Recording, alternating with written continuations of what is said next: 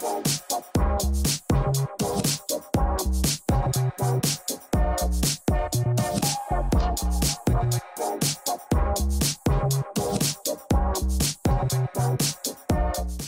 Hey guys, if you've been watching the channel for a while, you'll have remembered a, a, video that I did a while back where I had a whole bunch of magpies consuming the insulation and the silver foil over top of my pipes on my solar thermal collector. One of the viewers made a comment about putting some uh, flexible pipe over top of the thermal pipes and I've gone and done that and it's completely fixed the situation. So I wanted to make a quick video about how I did it and just generally thank you guys for um, all your suggestions. It's uh, made a really big difference.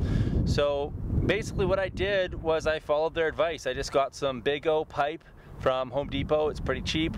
I re-insulated the pipes that the magpies had consumed the insulation on and then I cut a slit in the big O pipe all the way down the center and then just pulled it apart and wrapped it around the pipe. So you can kind of see what has gone on there. It's completely worked. The birds are not bugging it anymore and so this is the last time I'm ever gonna have to re-insulate this solar thermal collector. So that's incredible. I'm really excited about that. So again, thanks so much. Anyways, if you found this video interesting and you want more updates on renewable energy and permaculture and generally urban homesteading, uh, make sure you hit the subscribe button below. If you hit it again, you get notifications with regards to when we go live and when new videos come up on the feed. And I always appreciate your comments, so keep those comments coming and we'll see you guys in the next video. Thanks so much.